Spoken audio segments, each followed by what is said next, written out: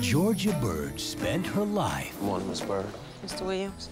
dreaming of possibilities I suggest you get with the program, Miss Byrd. Yeah. You're just scared of some man getting a hold of that booty of yours. until the day I was wondering sometime if you're free. I'll get it. Oh, fate This can't be right. changed everything. I got three weeks to live? I feel great. I just finished a fat flush. Remember you said life was too short to live the way I do? You see, Mr. Damien. Excuse me, would you mind? Yeah. I quit. I'm sure a disciplined woman such as yourself has a very useful purpose for this money. I'm just gonna blow it.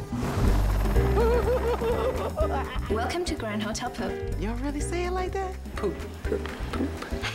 I know that you will find our presidential suite most comfortable. Did I just give you a ridiculously large tip? Yes.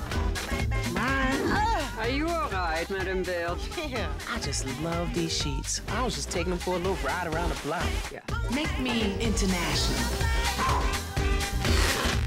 I haven't seen Georgia around for a couple of days. Have you seen her? Give my money. Hello, sister. Who the hell is she? Mademoiselle Byrd. Very rich. Ooh, look at that. Will he have the same specials tomorrow night? No. I guess I better try them all tonight then. Toot? Oh, no, no, no, no, no. Toot, baby. Toot sweet.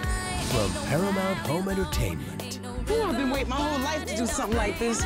you're invited Slow down! On a holiday I got a gut feeling about that woman. She's trouble.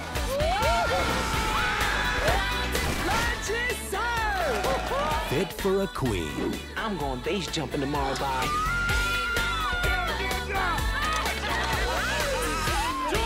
Sean, what are you doing here? Queen Latifah, Next time, we will laugh more, we'll love more. We just won't be so afraid. last holiday. Wait, I gotta use the bathroom.